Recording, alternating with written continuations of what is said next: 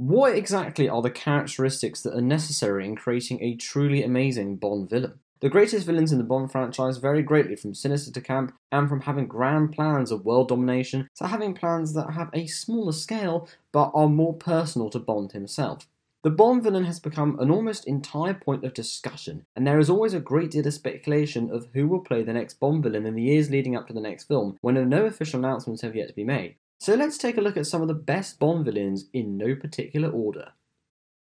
Tiago Rodriguez, better known as Raul Silva, completely dominated every scene he was in in 2012 Skyfall. Skyfall is one of the best Bond films. It nails so many aspects perfectly, or at least near perfectly. This ranges from the performances, to the cinematography, to the camera work, to the script, to the set design, and anything else. One of the things that Skyfall does so well is its main villain. Raul Silva, as played by Javier Bardem, a genius piece of casting. It says a lot that in a cast that consists of Ralph Fiennes, Daniel Craig, Judi Dench, Ben Whishaw, and Naomie Harris, to name it a few, that Javier Bardem is still the standout performer in the entire film. The unemphatic and reckless actions from Silva, along with his brilliantly written backstory, make for a fantastic character. Bardem is clearly having an absolute blast playing this character, and as a result, we the audience are having a blast watching Silva. Truly one of the best villains in the whole series, who actually succeeds in his goal.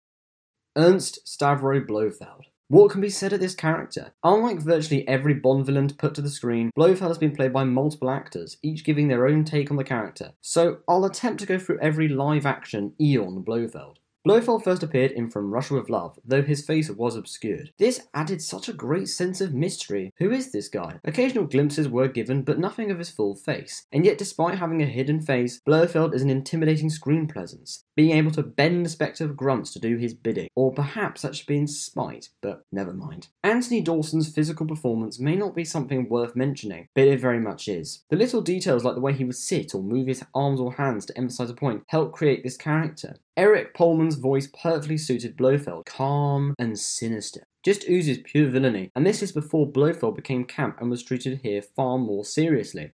After another obscured appearance in Thunderball, Blofeld was finally revealed in 1967's You Only Live Twice. Donald Pleasence was frankly inspired casting for this role. I know that his version has been parodied more than most, such examples being Dr. Evil, but in this context of the movie, Donald Pleasence is practically perfect as Blofeld. The way he speaks and his body language, along with his brilliant facial scar, make for a delightfully villainous character. Pleasence is perhaps the best remembered Blofeld, partly because he was the first one to appear physically in full, and because, in my opinion, he was just incredible, stealing every scene he was in. He made You Live Twice. Telly Savalas played Blofeld in a very different way to Pleasence. Savalas is much more physically dominating and actually ends up in a few fistfights with Bond. Due to following the On Her Majesty's Secret Service novel so loyally, Blofeld doesn't recognise Bond when they first meet, thus creating a continuity error. But I can let it slide, it was a mistake and that's that, nothing more. Savalas isn't quite as menacing as Pleasence, but to be fair to Savalas, there is now a greater physical threat which was certainly lacking before. Charles Gray played Blofeld to make people laugh. Unlike the other Blofelds who were intimidating and evidently evil and morally broken individuals,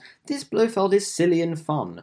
While Gray was playing the same character that his predecessors played rather than a rebooted version, his wonderfully camp performance, while jarring from the earlier Blofelds, feels tonally consistent with what the rest of Diamonds Are Forever was like. That's why Gray's performance doesn't even remotely bother me.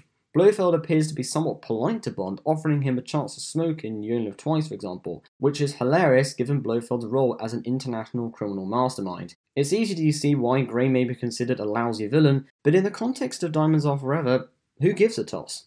I suppose I should mention the unnamed wheelchair bound bald man who threatens Bond in the pre title sequence of For Your Eyes Only. While it's never confirmed in any way that this man is Blofeld, it's pretty clear who it is. Due to complex legal issues that I needn't go into, the man is unnamed and we never get a proper look at him, perhaps also for this reason. The final Blofeld on the list is Christoph Waltz, who appeared in Spectre and will reappear in No Time to Die. Waltz is probably the weakest Eon Blofeld, and that's a Blofeld that we know with 100% certainty is actually Blofeld. He gives a decent performance, but it's ultimately underwhelming, which is a shame as Waltz is a fantastic actor. Hopefully, his character will be better written in No Time to Die, and his performance is ramped up.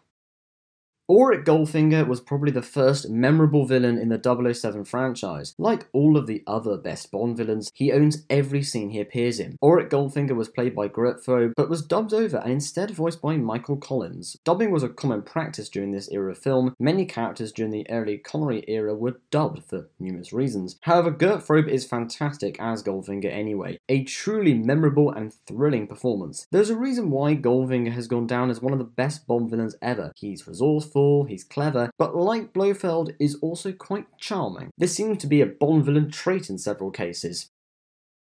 Jumping from the villain of Goldfinger, let's take a look at the villain of GoldenEye, Alec Trevelyan, otherwise known as 006. Unlike the other villains mentioned so far, Alec is written more like a real person. In the film's opening moments, you get a sense that Bond and Trevelyan are genuine friends, so when it's revealed that he's a villain, it works fantastically and makes for a more engaging third act than what would have otherwise been. In 1995, it was quite a new thing for Bond to have a personal connection with the villain. Now it's quite a trope of cinema. So watching GoldenEye for the first time in 1995 would have been great from this perspective, along with the rest of the film, which is obviously brilliant, as if it needed saying. This reasonably grounded approach to writing this villain helped make Alec Trevelyan a highly memorable Bond adversary. You may be surprised that I've included Franz Sanchez in this list, but for me, he just makes for such a brilliant bastard. This may be because he appeared in Licence to Kill, which outside the Bond fan community has become largely forgotten about. However, Sanchez, while clearly a very underrated villain, works very effectively as a match for Bond, both physically and psychologically. Sanchez is a very realistic type of Bond villain. He doesn't live in a hollowed out volcano with plans of world domination or triggering World War III. His ambitions are sort of the sort that you read in the news in relation to drug cartels. Robert Davi made the role so much better than it would would have been had Sanchez been played by a less competent or experienced actor. While Licence to Kill may lack in parts, it more than makes up for it when it comes to its hero villain dynamic, and the scenes between Dalton and Davi are among the film's highlights. While the sillier villains are a hoot to watch, sometimes, and maybe more often than that, it's great to bring things back down to earth. Chiffre, or more specifically, Chiffre from the 2006 version of Casino Royale, simply because in the other television and film adaptations, none of their Le Chiffres even come close to the Chiffre that appeared in Daniel Craig's debut Bond film. In Casino Royale, Le Chiffre is at the end of his rope and is under enormous pressure from his creditors, later revealed to be Mr. Wise. Because Chiffre is under such pressure, this makes him more compelling as a character and far more interesting than previous on-screen versions of Chiffre. Mads Mikkelsen is absolutely fantastic in the role. Nothing more needs to be said about his performance because it's just repeating the obvious. Mikkelsen is a very capable actor. While not a physical match for Bond, Chiffre is so well written that it doesn't really matter. The audience can even begin to understand Le Chiffre's motivations and his outlook on the world. It's actually quite rare for this aspect to exist in a Bond villain. I haven't mentioned every Bond villain, and certainly not every great Bond villain, but these are just some of the best Bond villains from my perspective, or at least the most noteworthy. What are your favourite Bond villains and why? Let me know in the comments below.